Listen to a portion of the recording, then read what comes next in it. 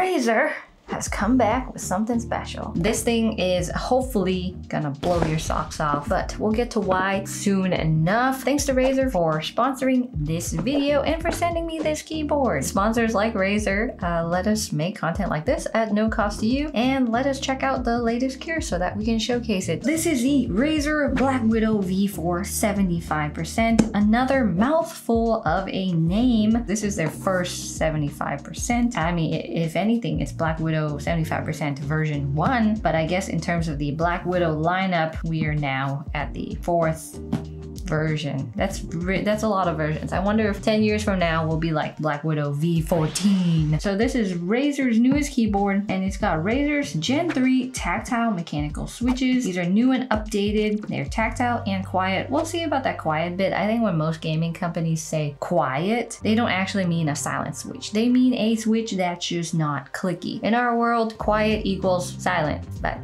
in their world, it's a different thing. Hot swappable design. This is the first hot swappable keyboard and it's got an optimized typing experience. Whatever that means, I'm not sure. You got cool RGB, of course, like any Razer keyboard. I should expect nothing less than the best of the best RGB. That's what they're known for. Ooh, what do we have here? We've got an exploded view. At the top, double shot ABS keycaps for ultimate shine through. RGB, of course, duh. Lubricated stabilizers. Ooh. A gasket mounted FR4 plate, so also Razer's first gasket mounted offering as well. A tape enhanced PCB, I'm assuming that just means it's tape modded, and then sound dampening foams all around. I'm hoping they have learned from the custom keyboard market and it's gonna sound just like Mmm, super thok. You know, their slogan for this keyboard is swap out, swap in, game on. With that, we are ready to commence. Oh, and did I mention it's got two year warranty?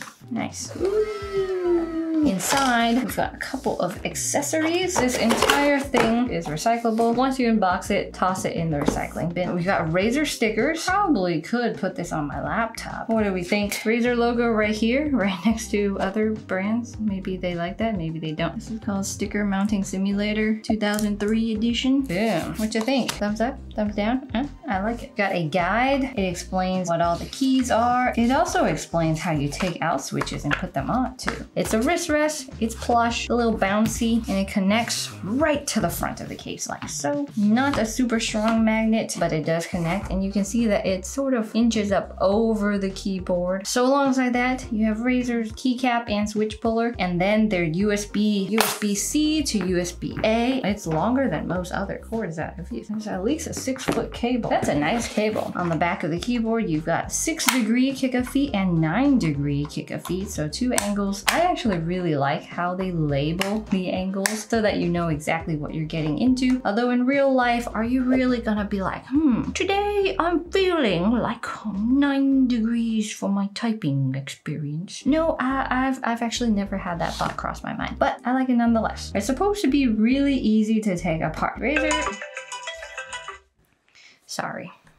Razer wanted this keyboard to be very customizable to the end user, and today we are gonna take it apart, see how easy that process really is. So at the top here, got the roller. It's actually quite loud, but it has a nice rolling sound. And then you've got two buttons here. One of these does pause play, and the other one does mute unmute. I think you can edit them on Razer Synapse. So we've got ABS double shot keycaps here. They're very clean, very thick, uh, see-through legends. Their legends have always been pretty clear. I've been using this for about a week so far and there's been pretty much no oily fingerprints yet. But from my other experiences using Razer keyboards, it takes a couple months before that starts showing some wear and tear. Uh, got north facing hot swap sockets with five pins. The switches are three pin, however. We got this diffuser dome here that you see in most Razer switches, if not all Razer switches. It's a tactile switch. It's got a nice bottom out sound and it doesn't really have any pre-travel before you hit that bump. And then even if you're tapping tapping lightly, you're still gonna hear the bottom out. Because it's a gaming switch, I think they only made the force 50 grams, so it's pretty lightweight. So stabilizers here are plate mounted. They are pre-lubed. It's actually quite clean application where you have lube just on the housing here and then on the right angle bend here. So very clean. Nice, good job.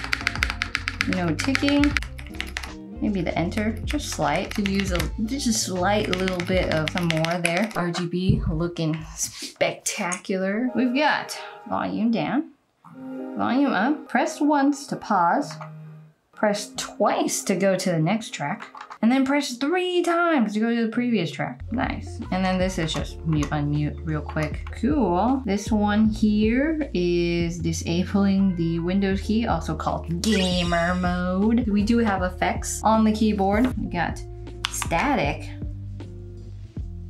Hello. Oh, you have to press FN control and then the effects. This one's called fire, cool. Wave, then I can change the direction of the wave.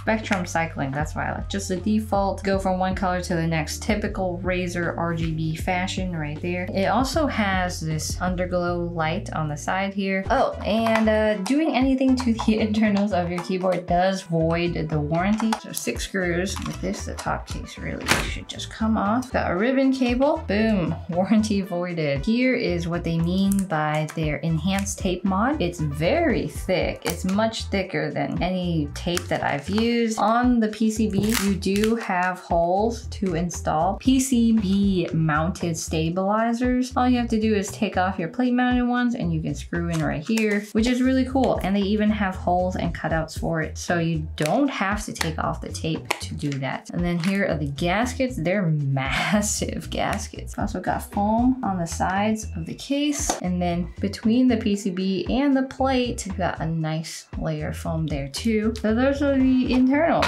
Very clean, very easy to take apart and put back in. That's it. Six screws on, six screws off. So this is what it sounds like.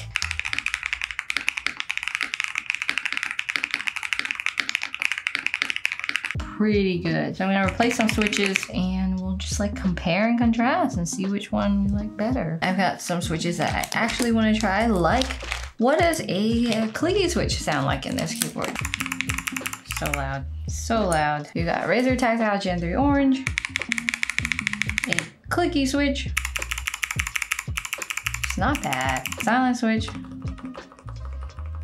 linear, tactile, that's a little bit on the clacky side. And then another linear, but not as strong of a bottom out. Actually, this is a tactile. So Razer definitely has the lightest actuation force tactile. The other ones are pretty heavy. The clicky sounds pretty nice, but I can't imagine typing on that. And then the silent, ooh, the silent, silent. Listen to this silent switch.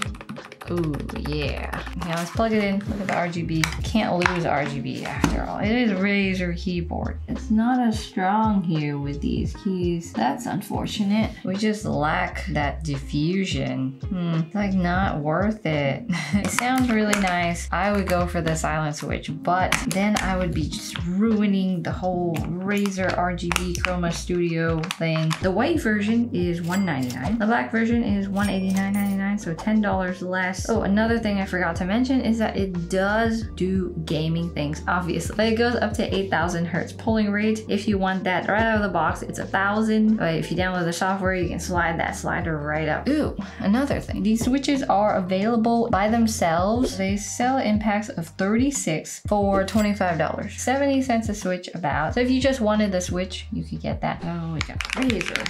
Black Widow. 189.99.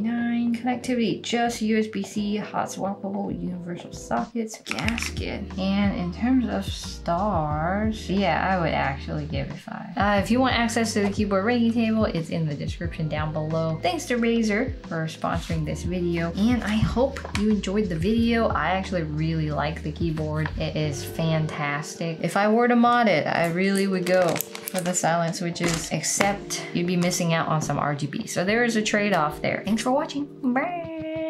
If you're interested in the product, check it out down below.